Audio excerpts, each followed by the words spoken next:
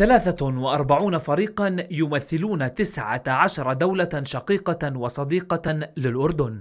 سيشاركون في مسابقة المحارب السابعة الدولية والتي ستجرى في مركز الملك عبد الله الثاني لتدريب العمليات الخاصة والتي ستبدأ فعالياتها يوم الأحد. مسابقة المحارب تحظى باهتمام دولي كبير خاصة في استخدام المهمات العسكرية والأسلحة الفردية والميادين الحديثة، ولعل توقيت هذه المسابقة ذو أهمية في ظل تكاتف الدول لمواجهة التحديات ومخاطر الأمنية وفي مقدمتها الإرهاب بما يضمن أمن واستقرار المنطقة. مسابقة المحارب تشكل مسابقة نوعية لمشاركة نخبة القوات الخاصة من الدول المشاركة.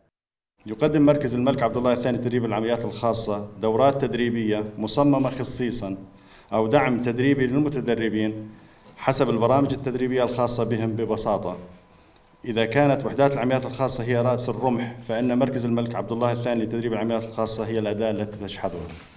تظهر المسابقة قوة التحمل والصبر والعمل الجماعي ومهارات الفنون القتالية المختلفة لفرق العمليات الخاصة ووحدات القناصين حيث يشارك لأول مرة فريق نسائي أردني من قوات الدرك. وصل عدد الفرق المشاركة إلى 43 فريق من 19 دولة تتنافس لإكمال 10 فعاليات كفريق واحد وفعالية فردية. في المسابقة. وما يميز مسابقة المحارب الدولية السنوية السابعة أيضا مشاركة فريق نسائي أردني من قوات الدرك الشرطة الخاصة.